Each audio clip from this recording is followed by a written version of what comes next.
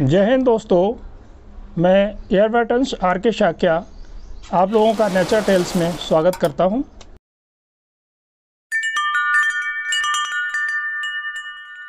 जैसा कि आप लोगों को मालूम है कि कोरोना वायरस अभी ख़त्म नहीं हुआ है और जल्दी ख़त्म होने वाला भी नहीं है तो हमें इसी के साथ जीना सीखना है इसके लिए हमें अपना इम्यून सिस्टम मज़बूत करके रखना पड़ेगा तो हम कैसे अपना इम्यून सिस्टम मज़बूत कर सकते हैं? इसके लिए आयुष मंत्रालय ने कुछ दिशा निर्देश जारी किए हैं, जिनके बारे में आज मैं आपको बताऊँगा। चिकित्सा पद्धति में बीमारी को ठीक करने के दो तरीके हैं। नंबर एक, सीधा बीमारी को ठीक करने की दवा देना। नंबर दो, शरीर की प्रतिरोधक क्षमता को बढ़ाना। चूँकि करोना वायरस की अभी तक कोई दवा नहीं बनी है, इसलिए हमें दूसरे तरीके पर ध्यान देना पड़ेगा। शरीर की प्रतिरोधक क्षमता, डिफेंस सिस्टम, इसे ही इम्यून सिस्टम भी कहते हैं। ये क्या है, कैसे कार्य करता है और इससे हमें कैसे मज़बूत बनाना है?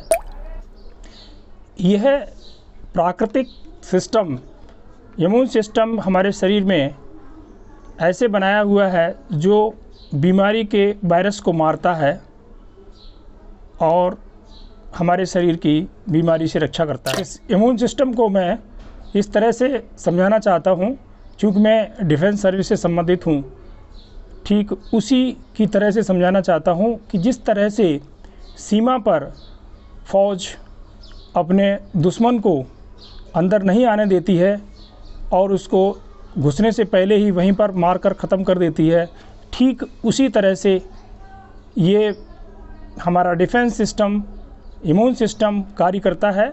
जैसे ही वायरस बीमारी का हमारे शरीर में अंदर प्रवेश करने की कोशिश करता है तो उसे मार देता है और उसका रिकॉर्ड रखता है, जिससे कि ये वायरस दोबारा अगर हमला करता है तो उसको मारने में आसानी हो जाती है।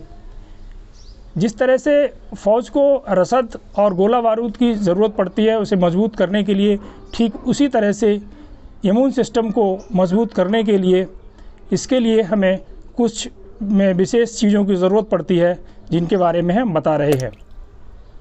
इम्यून सिस्टम को हमें निरंतर मज़बूत करना पड़ता है। जैसा कि कहा जाता है और कहा गया है कि बच्चों और बुज़ुर्गों का इम्यून सिस्टम कमज़ोर हो जाता है। इसीलिए कोविड 19 से उनको ज़्यादा खतरा है। तो उनके इम्यून सिस्टम को भी हमें बढ़ाना है। आयुष मंत्रालय ने अपनी वेबसाइट पर पीडीएफ डाल रखा है, जिसमें इम्यूनिटी मेजर्स बढ़ाने के बारे में दिया हुआ है। सबसे पहले साधारण उपाय हैं कि हमें सबसे अधिक गर्म पानी पीना चाहिए। पूरे दिन में लगभग सात से आठ गिलास पानी पी लेना चाहिए। जो गर्म पानी पीने से हमारी भोजन नली साफ़ हो जाती है और आगे एक्शन जल्दी होने लगता है। पाचन क्रिया तेज हो जाती है, जिससे इम्यून सिस्टम के जो अंग हैं, वो एक्टिव हो जाते हैं। आगे बता रहे हैं कि प्रतिदिन हमें कम से कम 30 मिनट के लिए योग करना चाहिए, प्राणायाम करना चाहिए और मेडिटेशन करना चाहिए। मिनिस्ट्री ऑफ़ आयुष ने अपने वेबसाइट में जैसे बताए हैं yoga at home stay at home stay safe के अनुसार हमें योगासन करना चाहिए। अगला है कि हमें अपने खाने में मसाले अधिक यूज़ करना चाहिए, जिसमें है हल्दी है, जीरा है, धनिया है और लहसुन है, इसकी मात्रा हमें अधिक कर देनी चाहिए। फिर आगे आयुर्वेद से संबंधित कुछ चीज़ें बताई हैं, जैसे हमें च्यवनप्राश, डेली एक चम्मच फुल मॉर्निंग में लेना चाहिए, जो डायबिटिक पेशेंट होते हैं उनको शुगर फ्री च्यवनप्राश लेना चाहिए। अगला ड्रिंक हर्बल टी हमें चाय कॉफ़ी छोड़ देना चाहिए और हर्बल टी बनाना चाहिए, जिसमें तुलसी, दालचीनी, सौंठ, मुनक्का डाल करके जो हम बनाते हैं और इसको दिन में दो बार पीना चाहिए।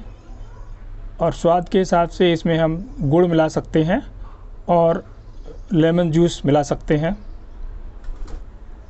अगला है कि हमें दूध को गोल्डन कलर में करके पीना है। तो एक गिलास में आधा चम्मच जो ये आधा चम्मच है इतना हल्दी एक गिलास में के दूध में डाल करके गुनगुना पीना चाहिए। इसके अलावा कुछ आयुर्वेद के कुछ प्रोसीजर हैं जो बताए हुए हैं, जो हमारा नाशिका है, इसको हमें साफ़ कैसे करना है। इसके अंदर कोकोनट ऑयल अथवा घी को नथनों में, दोनों नथनों में सुबह और शाम को डाल लेना चाहिए, जिससे ये श्वसन, जो सांस लेने की प्रणाली में श्वसन नलियाँ हैं, वो साफ़ हो जाएँगे। एक थेरेपी बताई हुई है ऑयल पुलिंग थेरेपी जिसमें एक टेबल स्पून कोकोनट ऑयल को मुँह में रख कर के उसको पीना नहीं है, मुँह में रख कर के दो से तीन मिनट तक रख कर के और उसको बाहर मुँह से बाहर निकाल देना है। और इसके बाद गर्म पानी से मुँह को कुल्ला करके बाहर निकाल देना है। ये दिन में हम एक से दो बार कर सकते हैं। अगर हमारा गला दर्द करता है और सूखी खांसी आ रही है तो उस समय हमें भाप लेनी चाहिए। तो पानी में पुदीना और अजवाइन डाल करके दिन में एक बार हमें उसकी भाप लेनी चाहिए। लौंग के पाउडर को शहद में मिला करके दो या तीन बार दिन में लेने से खांसी और गले में जो खराश है वो ठीक हो जाती है। ये सारे मेज़र्स ड्राई कफ के लिए है। सूखी खांसी अगर है तो और निरंतर आती रहती है, अगर ठीक नहीं हो रही है तो हमें फिर डॉक्टर की राय लेनी चाहिए। अगर ये सिम्टम्स हमें कंटिन्यूस बने हैं, ठीक नहीं हो रहे हैं तो हमें डॉक्टर की राय लेनी चाहिए। ये सारे मेज़र्स भारत के प्रसिद्ध वैद्य द्वारा दिए गए हैं और उनसे ये लेकर के किए गए हैं। ये ज़रूरी नहीं है कि कोविड 19 के वायरस इससे ख़त्म हो जाए, लेकिन हमारा इम्यून सिस्टम मज़बूत हो जाएगा, जिससे हम अपने शरीर पर होने वाले दूसरे सिम्टम्स हैं, उनको हम उससे बचाव रख सकते हैं। ये जो प्रिवेंटिव मेजर्स बताए हैं, इनको अपनी अपनी सुविधा अनुसार इसकी समय अवधि को बढ़ा सकते हैं। हर एक व्यक्ति का इम्यून सिस्टम अलग अलग होता है तो अपने सुविधा अनुसार इसको आगे पीरियड को बढ़ा सकते हैं। दूसरे उपाय ये हैं कि कम से कम दिन में आठ घंटे सोना है और खुल के हंसना है स्ट्रेस को कम करना है, इससे इम्यून सिस्टम मज़बूत होता है।